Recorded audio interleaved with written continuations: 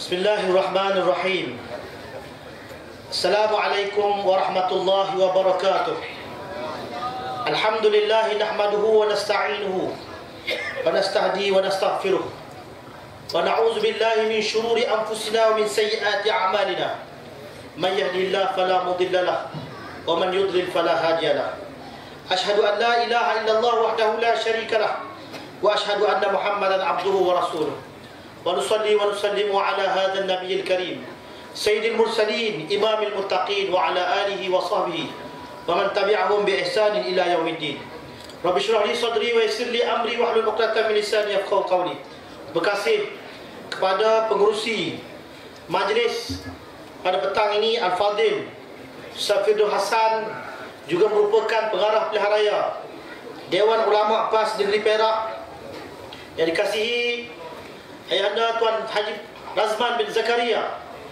Suruhjaya PAS Negeri Perak. Kasihi Ayahanda Tuan Haji Noh Ahmad selaku Timbalan Suruhjaya PAS Negeri Perak. Dan yang dikasihi juga kepada pengarah pilihan raya Fadil Sam Musafa dan seluruh saf kepimpinan yang hadir pada tengah hari ini dan seluruh para hadirin dan hadirat yang dikasihi sekalian. Jangan lupa juga kepada ketua-ketua dewan yang terlibat sama dalam istimewa pilihan raya ini diucapkan ahlan wa sahlan marhaban bikum pada atas kehadiran dan sokongan daripada tuan-tuan dan puan-puan sekalian. Tidak lupa juga kepada anggota polis ataupun SB yang hadir daripada pagi tadi sehingga waktu ini yang mencatat segala butir-butir untuk dilaporkan. Kita ucapkan selamat datang kepada mereka. Tuan-tuan muslimin dan muslimat yang dikasihi sekalian Alhamdulillah tamanya pemuda PAS Negeri Perak mengucapkan tahniah Perjabatan Pilihan Raya PAS Negeri Perak yang berjaya menganjurkan majlis yang besar seperti ini. Mudah-mudahan majlis ini tidak habis di sini sahaja. Tapi ia akan diperturunkan ke bawah. Semua dewan termasuklah kawasan-kawasan akan bekerja keras di kawasan masing-masing. Dan insya-Allah kita daripada Dewan Pemuda PAS Negeri Perak melalui Jabatan Pilihan Raya ataupun melalui Pengarah Pilihan Raya Pemuda PAS Negeri Perak juga mengarahkan tenaga-tenaga daripada pemuda untuk membantu kerja-kerja teknikal di setiap dun dan juga parlimen yang akan kita bertanding di negeri Perak ini. Kerana kita tahu kerja-kerja teknikal ini dalam bahasa yang mudah disebut renyah. Dan insya Allah pemuda bersedia untuk membantu kekosongan ini. Saudara-saudara yang dikasih sekalian, kita juga mengarahkan seluruh pemuda-pemuda supaya menyahut segala arahan daripada jamaah. Arahan daripada pihak PAS Pusat, arahan daripada pihak pemuda PAS Pusat, arahan daripada PAS negeri. Kita menyahut dan juga kita menjadi pendesak kepada kawasan-kawasan itu sendiri. Sahabat-sahabat tuan-tuan muslimin dan muslimat yang dikasih sekalian mengambil kisah peristiwa hijrah Rasul wasallam. Kalau kita lihat tempat yang paling berisiko disitulah diisi oleh ahli pemuda. Seperti mana yang menggantikan tempat tidur Nabi Muhammad sallallahu alaihi wasallam adalah Sayyidina Ali seorang anak muda pada ketika itu. Sebab itulah kita kata kepada Dewan Pemuda PAS kawasan-kawasan tak mana tempat yang bersiko yang tidak ada para petugas kita bagi tahu kepada mereka di situ pemuda kena ambil kira untuk berada di situ jangan menjadi pemuda yang pengecut jangan menjadi pemuda yang sentiasa memberi alasan kepada pihak kawasan dan sebagainya tuan-tuan muslimin dan muslimat yang dikasih sekalian kita juga telah menggerakkan daftar pemilih melalui Dewan Pemuda. Ke setiap pemuda kawasan, Alhamdulillah, pihak JPN telah mengarahkan pemuda untuk menyelesaikan daftar pemilih. Alhamdulillah, kita dah selesaikan 600 pengundi baru ataupun 600 telah kita daftarkan. Dan kita harap kerjasama daripada kawasan-kawasan, kerjasama daripada pemuda kawasan, supaya terus, terus bekerja keras untuk kita dapatkan daftar pemilih baru itu sendiri di samping kita mencari ahli-ahli baru itu Saudara-saudara muslimin muslimat yang dikasih sekalian. Seterusnya kita juga mengarahkan supaya menganjurkan program untuk kita merapatkan soft sesama kita. Kalau kita asyik bertengkar setiap mesyuarat. Kalau kita asyik dengki mendengki setiap kali ada program yang kita laksanakan.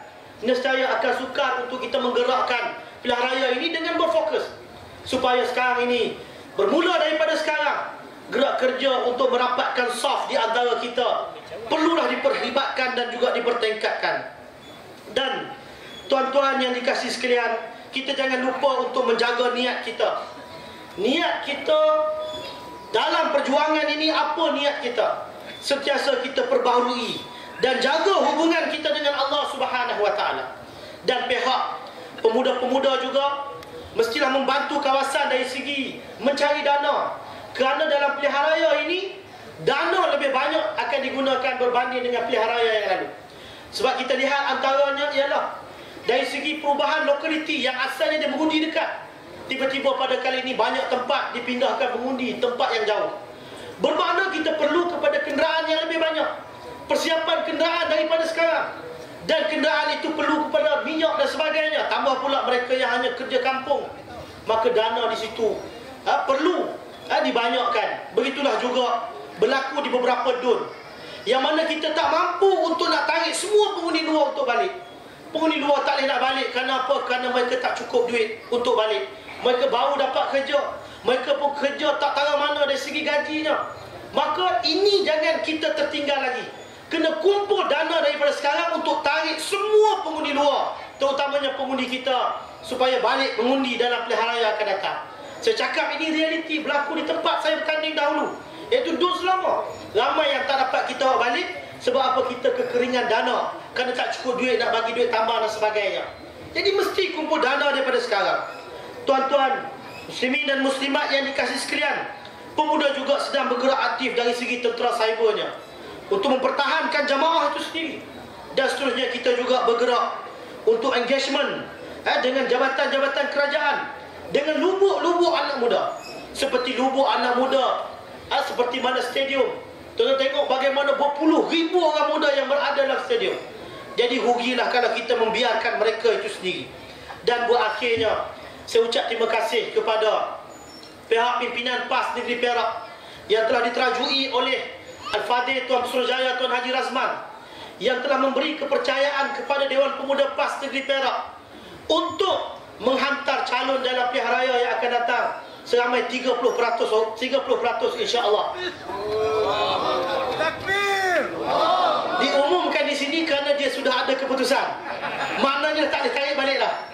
Jadi setiap kawasan mestilah menghantar cadangan siapakah bakal calon dari kalangan anak muda kepada Dewan Pemuda PAS Negeri Perak. Insya-Allah kita akan bincang untuk diletakkan sebagai calon. Calon itu calon yang mesti aktif lah. Bukan setakat muda tapi duduk saja. Bukan setakat muda tidur di rumah. Hak macam ni tak boleh ya? Takkan kita nak fight orang yang macam ni? Jadi diharap itulah kita ambil perhatian. Mudah-mudahan dalam pilihan raya akan datang Kalau parti-parti lain ramai calon muda kita harap PAS dalam pilihan raya akan datang juga ramai terdiri dari kalangan calon-calon muda. Jadi saya rasa cukuplah sekadar itu. Saya rasa masa pun dah cukup. Sekian, terima kasih. Aku lu kawali haza astagfirullah azim ni malakum. Wa billahi taufiq wal hidayah. Assalamualaikum warahmatullahi wabarakatuh.